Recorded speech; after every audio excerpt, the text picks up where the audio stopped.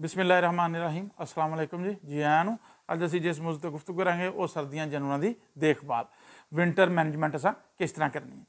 ਇਹਦੇ ਵਿੱਚ ਚੰਦ ਚੀਜ਼ਾਂ ਨੇ ਜਿਨ੍ਹਾਂ ਦਾ ਅਸਾਂ ਬਹੁਤ ਜ਼ਿਆਦਾ ਖਿਆਲ ਰੱਖਣਾ ਉਹ ਇੱਕ ਜਾਨਵਰ ਨੂੰ ਠੰਡ ਤੋਂ ਬਚਾਉਣਾ ਠੰਡ ਤੋਂ ਬਚਾਉਣ ਲਈ ਉਹਨਾਂ ਦਾ ਜਿਸਮ ਦਾ ਟੈਂਪਰੇਚਰ ਮੇਨਟੇਨ ਰੱਖਣਾ ਤੇ ਉਹ ਤਾਂ ਕਿ ਦੂਸਰਾ ਠੰਡ ਤੋਂ ਬਚਾਉਣਾ ਤਾਂ ਕਿ ਜਾਨਵਰ ਦੀ ਪ੍ਰੋਡਕਸ਼ਨ ਜਿਹੜੀ ਹੈ, ਦੁੱਧ ਦੀ ਪੈਦਾਵਾਰ ਹੈ ਜਾਂ ਫੈਟਰਿੰਗ ਵਾਲੇ ਗੋਸ਼ੇ ਦੀ ਪੈਦਾਵਾਰ ਮਤਾਸਰ ਨਾ ਹੋਵੇ। ਅੱਛਾ ਜੀ ਇਹਦੇ ਵਿੱਚ ਸਭ ਤੋਂ ਪਹਿਲਾਂ ਜਿਸ ਚੀਜ਼ ਦਾ ਹਾਂ ਖਿਆਲ ਰੱਖਣਾ, ਉਹ ਜਾਨਵਰਾਂ ਦੇ ਆਪਣਾ ਬੰਦੋਬਸਤ ਕਰਨਾ ਉਹਨਾਂ ਦੀ, ਜਿਹੜਾ ਜਿੱਥੇ ਉਹਨਾਂ ਦਾ ਤੁਹਾਨੂੰ ਰਾਤ ਨੂੰ ਰੱਖਣਾ ਉਹਨਾਂ ਦੀ ਰੈਸ਼ ਜਿਹੜੀ ਹੈ, ਉਹਨਾਂ ਦੇ ਸ਼ੈੱਡ, ਉਹਨਾਂ ਦਾ ਢਾਰਾ ਜਿਹੜਾ ਜਾਂ ਕਮਰਾ, ਉਹਦੇ ਵਿੱਚ ਤੁਸੀਂ ਇਸ ਤਰ੍ਹਾਂ ਦਾ ਬੰਦੋਬਸਤ ਕਰਨਾ ਕਿ ਜਾਨਵਰ ਨੂੰ ਠੰਡ ਨਾ ਲੱਗੇ, ਤਾਂ ਕਿ ਉਹਦਾ ਬਾਡੀ ਟੈਂਪਰੇਚਰ ਮੇਨਟੇਨ ਰਵੇ ਠੀਕ ਹੈ ਜੀ?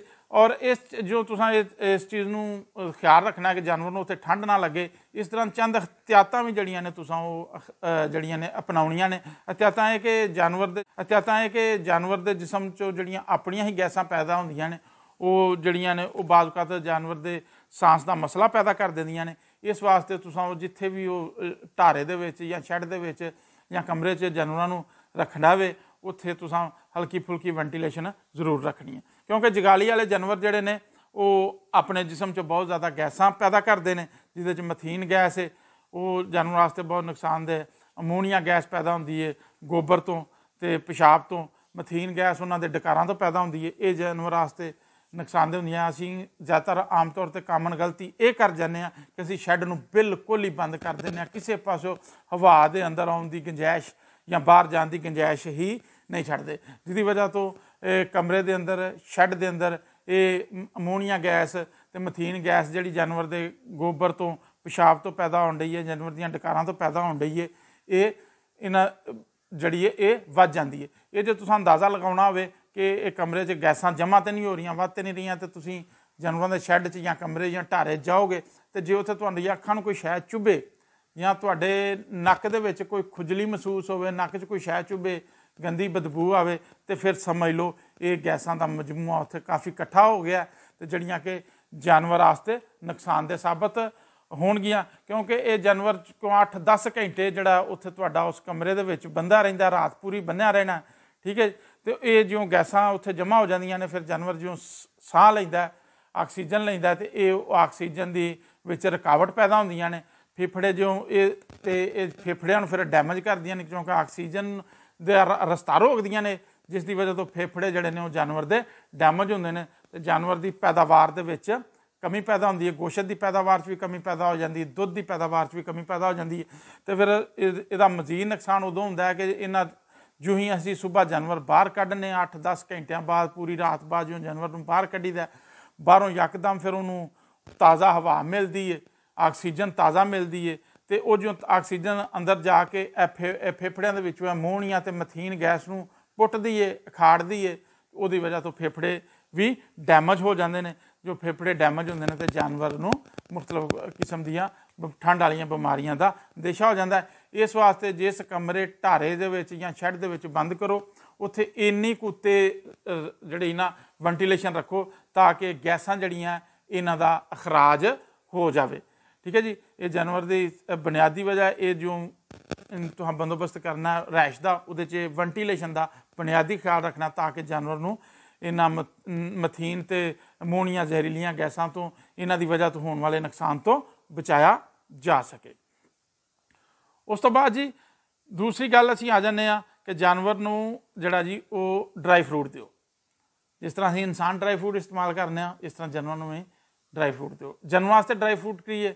ਗੁੜ ਜਨਮ ਵਾਸਤੇ ਡਰਾਈ ਫਰੂਟ ਹੈ ਉਸ ਤੋਂ ਬਾਅਦ ਘੀ, ਆਇਲ, ਤੇਲ ਜਿਹੜਾ ਕਿਸੇ ਵੀ, ਕੋਈ ਵੀ, ਉਹ ਵੀ ਜਾਨਵਰਾਂ ਵਾਸਤੇ ਇੱਕ ਡਰਾਈ ਫਰੂਟ ਦੀ ਹیثیت ਰੱਖਦਾ ਕਿਉਂਕਿ ਜਾਨਵਰਾਂ ਨੂੰ એનર્ਜੀ ਮਹੱਈਆ ਕਰਦਾ ਅਸੀਂ ਵੀ ਡਰਾਈ ਫਰੂਟ ਖਾਂਦੇ ਹਾਂ એનર્ਜੀ ਹਾਸਲ ਕਰਨ ਵਾਸਤੇ, ਇਸ ਵਾਸਤੇ ਜਾਨਵਰਾਂ ਨੂੰ ਵੀ ਸਰਦੀਆਂ ਦੇ ਵਿੱਚ ਗੁੜ ਦਾ ਦਿਓ। ਗੁੜ ਦੇ ਨਾਲ ਨਾਲ ਉਹਨਾਂ ਨੂੰ ਕੋਈ ਵੀ ਤੇਲ, ਆਇਲ ਗੀ ਇਹ ਇੱਕ ਲਹਿਦਾ ਬੈਸ ਕਿ ਕਿਹੜਾ ਦੇਣਾ ਸਰੋਂ ਦਾ ਦੇਣਾ ਵਲੈਤੀ ਦੇਣਾ ਡਾਲਡਾ ਦੇਣਾ ਘਿਓ ਦੇਣਾ, ਦੇਸੀ ਕਿ ਦੇਣਾ, ਇਹ ਕਲਹਿਦਾ ਬੈਸ ਲੇਕਿਨ ਕੋਈ ਨਾ ਕੋਈ ਚਿਕਨਾਈ ਜ਼ਰੂਰ ਦਿਓ। ਠੀਕ ਹੈ ਜੀ? ਤਾਂ ਕਿ ਉਹ ਜਾਨਵਰ ਦੇ ਅੰਦਰ એનર્ਜੀ ਪੈਦਾ ਕਰੇ। ਜਾਨਵਰ ਜਾਨਵਰ ਜਿਹੜਾ ਆਪਣੇ ਜਿਸਮ ਦਾ ਟੈਂਪਰੇਚਰ ਮੇਨਟੇਨ ਰੱਖੇ ਤੇ ਜਾਨਵਰ ਠੰਡ ਤੋਂ ਬਚਿਆ ਰਹੇ ਠੀਕ ਹੈ ਜੀ? ਤੇ ਇਹਦੇ ਨਾਲ ਤੁਸੀਂ ਬਾਈਪਾਸ ਫੈਟ ਦਾ ਵੀ ਇਸਤੇਮਾਲ ਕਰ ਸਕਦੇ ਹੋ। ਇਹ ਵੀ ਇੱਕ ਜਦੀਦ ਜਿਹੜੀ ਉਹ ਚਕਨਾਈਆਂ ਦੀ ਇੱਕ ਕਿਸਮ ਹੈ। ਠੀਕ ਹੈ? ਔਰ ਇਹ ਹਜ਼ਮ ਹੋਣ ਚ ਵੀ ਆਸਾਨ ਹੈ। ਤੇ ਇਸ ਵਾਸਤੇ ਜਾਨਵਰਾਂ ਤਿਲਾਂ ਦਾ ਤੇਲ ਅੱਜਕੱਲ ਸਾਡਾ ਫੇਵਰਟ ਹੁੰਦਾ। ਤਿਲਾਂ ਦਾ ਤੇਲ ਇਸਤੇਮਾਲ ਕਰ ਲਓ, ਹਰ ਕਿਸਾਨ ਦਾ ਫੇਵਰਟ ਹੈ ਸਰਦੀਆਂ ਦੇ ਵਿੱਚ, ਤਿਲਾਂ ਦਾ ਤੇਲ ਇਸਤੇਮਾਲ ਕਰ ਲਓ।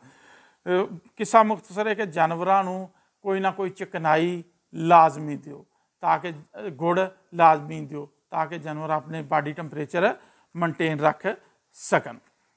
ਸਿਹਤ ਵਾਸਤੇ ਫਾਇਦਾਮੰਦ ਸਾਬਤ ਹੋਵੇ ਉਸ ਤੋਂ ਬਾਅਦ ਜੀ, ਜਿਹੜਾ ਇੱਕ ਹੋਰ ਨੁਕਤਾ ਹੈ, ਜਿਹਦੇ ਤੇ ਅਸੀਂ ਅਕਸਰ ਗੌਰ ਨਹੀਂ ਕਰਦੇ ਉਹ ਅਸੀਂ ਸਰਦੀਆਂ ਦੇ ਵਿੱਚ ਜਾਨਵਰਾਂ ਨੂੰ ਪਾਣੀ ਬੜਾ ਘੱਟ ਪਿਲਾਉਂਦੇ ਹਾਂ ਜੀ। ਠੀਕ ਹੈ ਜੀ? ਤੇ ਜਦੋਂ ਅਸੀਂ ਜਾਨਵਰਾਂ ਨੂੰ ਸਬ- ਸਰਦੀਆਂ ਦੇ ਵਿੱਚ ਘੱਟ ਪਾਣੀ ਪਿਲਾਉਂਦੇ ਹਾਂ, ਇਹ ਵੀ ਜਾਨਵਰਾਂ ਦੇ ਜਿਸਮ ਵਾਸਤੇ ਨੁਕਸਾਨਦਾਇਕ ਉਸ ਤੋਂ ਬਾਅਦ ਇਹ ਨਾ ਸਿਰਫ ਜਿਸਮ ਵਾਸਤੇ ਨੁਕਸਾਨਦਾਇਕ ਹੈ, ਬਲਕਿ ਇਹਦੇ ਨਾਲ ਜਾਨਵਰ ਦੀ ਪੈਦਾਵਾਰ ਵੀ ਮੁਤਾਸਰ ਹੁੰਦੀ ਹੈ। ਠੀਕ ਹੈ ਜੀ? ਤੇ ਪੈਦਾਵਾਰ ਮੁਤਾਸਰ ਹੋਣ ਦੇ ਨਾਲ ਜੋ ਜਾਨਵਰ ਕਾ- ਪਾਣੀ ਨੂੰ ਅਸੀਂ ਘੱਟ ਪਿਲਾਉਂਦੇ ਹਾਂ, ਕਿਉਂਕਿ ਹਾਂ ਅਮੂਮਨ ਬੰਨੇ ਹੁੰਦੇ ਨੇ ਜੋ ਬੰਨੇ ਹੁੰਦੇ ਨੇ ਤੇ ਅਸੀਂ ਸਰਦੀਆਂ 'ਚ ਜ਼ਿਆਦਾ ਤੋਂ ਜ਼ਿਆਦਾ ਇੱਕ ਦਫਾ ਜਾਂ ਦੋ ਦਫਾ ਪਾਣੀ ਪਿਲਾ ਦਿੰਦੇ ਆ ਤੇ ਉਹ ਜੋ ਕੋ- ਜਾਨਵਰ ਦੀ ਪਾਣੀ ਦੀ ਜਿਹੜੀ ਅਸੀਂ ਪਿਆਸ ਉਹ ਪੂਰੀ ਨਹੀਂ ਕਰਦੇ, ਇਸ ਵਾਸਤੇ ਆਂਦੇ ਨੇ ਜਾਨਵਰਾਂ ਨੂੰ ਖੁੱਲੇ ਛੱਡਣਾ ਚਾਹੀਦਾ ਤਾਂ ਕਿ ਆਪਣੀ ਮਰਜ਼ੀ ਨਾਲ ਪਾਣੀ ਪੀਂਦੇ ਰਹਿਣ। ਤੇ ਅਸੀਂ ਜਾਨਵਰਾਂ ਨੂੰ ਜੋ ਕਿ ਜ਼ਿਆਦਾ ਪਾਣੀ ਨਹੀਂ ਪਿਲਾਉਂਦੇ, ਤਿੰਨ ਚਾਰ ਦਫਾ ਪਿਲਾਉਣਾ ਚਾਹੀਦਾ। ਤੇ ਉਹ ਫਿਰ ਜਾਨਵਰਾਂ ਦੀ ਜੋ ਇੱਕ ਤੇ ਪ੍ਰੋਡਕਸ਼ਨ ਘਟ ਜਾਂਦੀ ਹੈ, ਦੂਸਰਾ ਉਹਨਾਂ ਦੇ ਮਸਾਨੇ ਤੇ ਪਿਸ਼ਾਬ ਦੀ ਨਾਲੀ ਦਾ ਇਨਫੈਕਸ਼ਨ ਵੀ ਪੈਦਾ ਹੋਣ ਦਾ ਖਤਰਾ ਹੁੰਦਾ। ਇਸ ਤੋਂ ਇਲਾਵਾ ਕਿਉਂਕਿ ਜ- ਖੁਰਾਕ ਵੀ ਚੌਂਕਾ ਪਾਣੀ ਦੀ ਵਜ- ਜਿਹੜਾ ਹਜ਼ਮ, ਖੁਰਾਕ ਹਜ਼ਮ ਕਰਨ ਚ ਵੀ ਪਾਣੀ ਇੱਕ ਬੁਨਿਆਦੀ ਜਜ਼ੂ ਪਾਣੀ ਇੱਕ ਅਹਿਮ ਕਿਰਦਾਰ ਅਦਾ ਕਰਦਾ ਇਸ ਵਾਸਤੇ ਖੁਰਾਕ ਦੀ ਹਜ਼ਮੀਅਤ ਵੀ ਜਿਹੜੀ ਹੈ, ਉਹ ਘਟ ਜਾਂਦੀ ਹੈ ਜਦੋਂ ਅਸੀਂ ਉਹਨੂੰ ਜ਼ਿਆਦਾ ਪਾਣੀ ਨਹੀਂ ਦਿੰਦੇ। ਤੇ ਪਾਣੀ ਜੋ ਪਿਲਾਉਣਾ ਹੈ, ਤੇ ਪਾਣੀ ਪਿਲਾਉਂਦਿਆਂ ਵੀ ਇhtiyat ਕਰਨੀ ਚਾਹੀਦੀ ਹੈ ਕਿ ਪਾਣੀ ਰੋਜ਼ਾਨਾ ਸਵੇਰੇ ਤਾਜ਼ਾ ਭਰ ਕੇ ਭਰੋ ਹੌਜ਼ੀਆਂ ਦੇ ਤੇ ਉਹ ਤਾਜ਼ਾ ਪਾਣੀ ਪਿਲਾਓ। ਠੀਕ ਹੈ?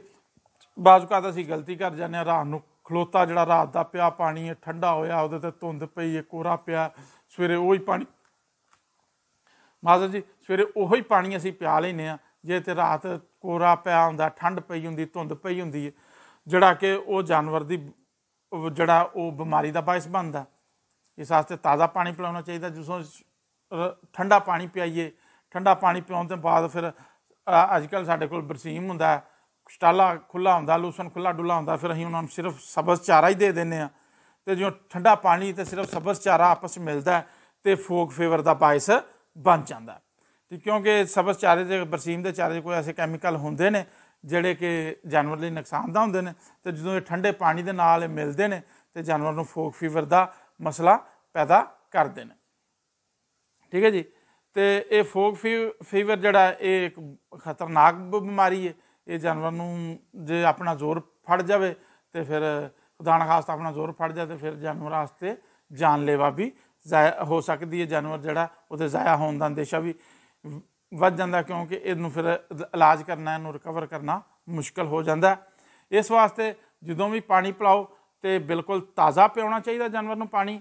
ਉਸ ਤੋਂ ਬਾਅਦ ਤੇ ਜਿਹੜਾ ਤੁਸੀਂ ਸਬਜ਼ ਚਾਰਾ ਇਸਤੇਮਾਲ ਕਰਦੇ ਹੋ ਪਿਆ, ਉਹਦੇ 'ਚ ਖੁਸ਼ਕ ਚਾਰਾ ਲਾਜ਼ਮੀ ਇਸਤੇਮਾਲ ਕਰੋ। ਤੂੜੀ ਜਾਂ ਪਰਾਲੀ ਜਿਹੜੀ ਹੈ ਉਹ ਲਾਜ਼ਮੀ ਇਸਤੇਮਾਲ ਕਰੋ। ਸਬਜ਼ ਤੇ ਖੁਸ਼ਕ ਮਿਕਸ ਕਰਕੇ ਚਾਰਾ ਦਿਓ ਔਰ ਠੰਡਾ ਪਾਣੀ ਨਾ ਪਿਲਾਓ। ਸਵੇਰ ਰਾਤ ਦਾ ਪਾਣੀ ਕੱਢ ਦਿਓ ਕਰੋ, ਸਵੇਰੇ ਤਾਜ਼ਾ ਪਾਣੀ ਭਰ- ਭਰਿਆ ਕਰੋ ਤੇ ਦਿਨੇ ਤਾਜ਼ਾ ਪਾਣੀ ਜਾਨਵਰ ਨੂੰ ਪਿਲਾਓ ਤਾਂ ਕਿ ਫੋਕ ਫੀਵਰ ਤੋਂ ਵੀ ਜਾਨਵਰ ਨੂੰ ਬਚਾਇਆ ਜਾ ਸਕੇ। ਉਸ ਤੋਂ ਬਾਅਦ ਜੀ ਅਸੀਂ ਵੱਡਿਆਂ ਵਡੇਰਿਆਂ ਕੋਲ ਵੀ ਸੁਣਦੇ ਆਏ ਤੇ ਗੱਲ 100% ਦਰੁਸਤ ਹੈ ਕਿ ਪੱਠੇ ਆਪਣੇ ਉਦੋਂ ਵੱਡੋ ਚਾਰਾ ਉਦੋਂ ਕੱਟ ਕਰੋ ਜਦੋਂ ਉਹਦੇ ਤੋਂ ਤਰੇਲ, ਸ਼ਬਨਮ ਜਾਂ ਔਸ ਉਹ ਉਤਰ ਜਾਵੇ। ਠੀਕ ਹੈ ਜੀ?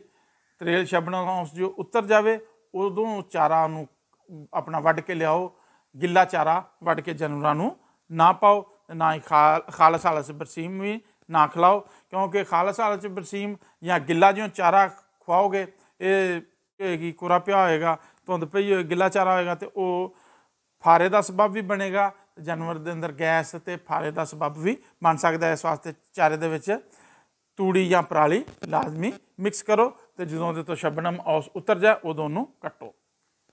ਇਸ ਤੋਂ ਇਲਾਵਾ ਇੱਕ ਥੋੜਾ ਜਿਹਾ ਇਜ਼ਾਫੀ ਖਰਚ ਵੀ ਕਰੋ ਸਰਦੀਆਂ ਦੇ ਵਿੱਚ, ਜਾਨਵਰ ਨੂੰ ਸਰਦੀਆਂ ਸਰਦੀ ਤੋਂ ਠੰਡ ਤੋਂ ਬਚਾਉਣ ਵਾਸਤੇ ਜਾਨਵਰ ਦੀ ਵੰਡੇ ਦੀ ਮਕਦਾਰ ਜਿਹੜੀ ਉਹ ਵਧਾ ਦਿਓ। ਤੇ ਇਹ ਜਿਹੜੀ ਇਜ਼ਾਫੀ ਮਕਦਾਰ ਤੁਸੀਂ ਇਸਤੇਮਾਲ ਕਰਨੀ ਇਹ ਰਾਤ ਦੇ ਵਕਤ ਇਸਤੇਮਾਲ ਕਰੋ। ਠੀਕ ਹੈ? ਇਜ਼ਾਫੀ ਮਕਦਾਰ ਜਿਹੜੀ ਤੁਸੀਂ ਇਸਤੇਮਾਲ ਕਰਨੀ ਹੈ, ਰਾਤ ਦੇ ਵਕਤ ਇਸਤੇਮਾਲ ਕਰੋ, ਵੰਡੇ ਦੀ ਮਕਦਾਰ ਵਧਾ ਦਿਓ।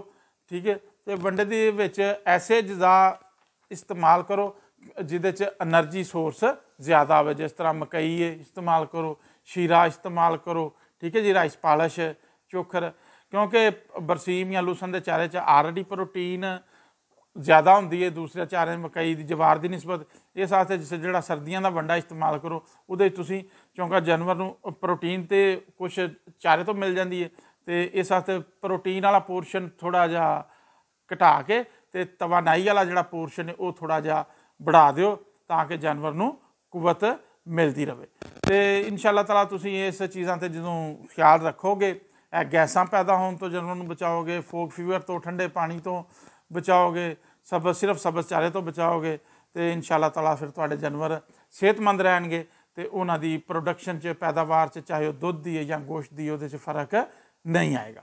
ਠੀਕ ਹੈ ਜੀ? ਤੇ ਇਹ ਜਿਹੜੀ ਅਸਾਂ ਗੱਲ ਕੀਤੀ ਸੀ ਤੁਹਾਡੇ ਨਾਲ, ਅਮੋਨੀਆ ਤੇ ਆਕਸੀਜਨ ਵਾਲੀ ਕਿ ਅਮੋਨੀਆ ਤੇ ਮਥੀਨ ਮਿਲ ਕੇ ਆਕਸੀਜਨ ਦੀ ਸਪਲਾਈ ਫੇਫੜੇ ਰੋਕ ਛੱਡਦੀਆਂ ਨੇ। ਇਹ ਮਸਲਾ ਬੱਕਰੀਆਂ ਵਾਲਿਆਂ ਨੂੰ ਬਹੁਤ ਜ਼ਿਆਦਾ ਪੇਸ਼ ਆ ਜਾਂਦਾ, ਕਿਉਂਕਿ ਉਮੂਮਨ ਬੱਕਰੀਆਂ ਵਾਲੇ ਤੇ ਬਿਲਕੁਲ ਹੀ ਬੰਦ ਢਾਰਾ ਹੁੰਦਾ, ਬੰਦ ਕਰ ਛੱਡਦੇ ਨੇ। ਇਸ ਵਾਸਤੇ ਬੱਕਰੀਆਂ ਵਾਲਿਆਂ ਨੂੰ ਇਸ ਚੀਜ਼ ਦਾ ਖਾਸ ਖਿਆਲ ਰੱਖਣਾ ਚਾਹੀਦਾ ਜੀ। ਇਹ ਅੱਜ ਦੀ ਇਨਫੋਰਮੇਸ਼ਨ ਸੀ ਤੇ ਦੁਆਗੋ ਆ ਕਿ ਅੱਲਾਹ ਪਾਕ ਸਾਨੀਆਂ ਪੈਦਾ ਫਰਮਾਏ ਤੇ ਤੁਹਾਨੂੰ, ਸਾਨੂੰ ਤੇ ਸਭ ਨੂੰ ਤੇ ਸਾਡੇ ਜਾਨਵਰਾਂ ਨੂੰ ਇਹ ਸਰਦੀ ਦੀ ਲਹਿਰ ਤੋਂ ਮਹਿਫੂਜ਼ ਰੱਖੇ। ਤੇ ਕਰਮ ਫਜ਼ਲ ਖੈਰ ਫਰਮਾਏ। ਇਹ ਅੱਜ ਦੀ ਇਨਫੋਰਮੇਸ਼ਨ ਸੀ ਜੀ, ਜਿਹੜੀ ਤੁਹਾਡੇ ਨਾਲ ਸ਼ੇਅਰ ਕੀਤੀ ਗਈ ਹੈ ਤੇ ਤੁਹਾਡੇ ਟਾਈਮ ਦੇਣ ਦਾ ਬਹੁਤ ਸ਼ੁਕਰੀਆ ਜੀ। ਅਸਲਾਮੁ ਅਲੈਕੁਮ